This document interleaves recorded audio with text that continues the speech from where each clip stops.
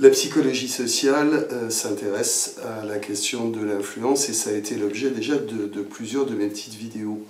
Euh, cette fois-ci, j'ai décidé d'aborder le thème de la soumission.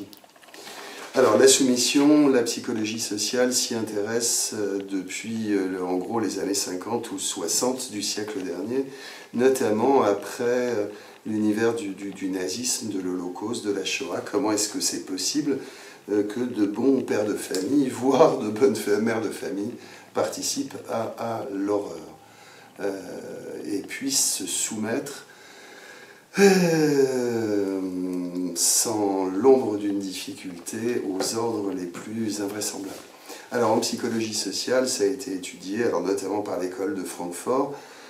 On pense aux travaux d'Adorno sur la, personnalité autoritaire, euh, ceux et celles d'entre nous qui seraient plus enclins à se soumettre euh, à l'autorité, une personnalité rigide, conformiste, avec un sens de la hiérarchie, avec une culture du chef, bref, une personnalité susceptible d'accepter et de se soumettre à l'autorité. Un petit peu plus près de nous, on a les travaux de Milgram, et c'est sans doute le nom que, l'histoire, en tout cas l'histoire récente, a retenu à propos de soumission. Milgram, dans les années 60, dans les années 60 entre 59 et 62, nous fait toute une série d'expérimentations où euh, un médecin en blouse blanche demande euh, à un kidam d'envoyer de poser des questions et d'envoyer des décharges électriques à euh, un, autre, patient qui, accepte de, jouer le jeu. Euh, il semblerait, d'après Milgram et d'après de nombreuses études qui, qui l'ont suivi, que 70% environ d'entre nous sommes capables d'envoyer des décharges électriques mortelles pour peu que celui qui nous le demande fasse autorité pour peu que nous ayons le sentiment de contribuer à quelque chose d'important comme les avancées de la, science. Bref, nous serions dans la grande majorité d'entre nous capables de nous soumettre à des ordres qui peuvent éventuellement tourner le dos à nos valeurs et mettre en danger la vie d'autrui. Euh, ces, ces, expériences ont été reprises très récemment en France par Jean-Léon Beauvois et toute une équipe. Et là, c'est euh, non pas un médecin, mais un animateur, une animatrice de jeux de jeux télévisés qui réussit à obtenir 80% de soumission. On semble marcher sur, euh, sur la tête et évidemment ça interroge terriblement sur ce qui fait que nous sommes capables de nous soumettre à l'autorité. Il semblerait qu'il y ait trois raisons principales. En tout cas, c'est les trois qui sont identifiées par Milgram, puis par Beauvoir et par d'autres. Un, il faut que l'autorité, la source, soit reconnue. Deux, que nous acceptions d'abandonner notre position de, de sujet, c'est-à-dire que nous nous mettions dans ce que Milgram appelle l'état agentique. Je ne suis plus responsable de mes actes, je ne fais qu'appliquer des ordres qui me sont donnés.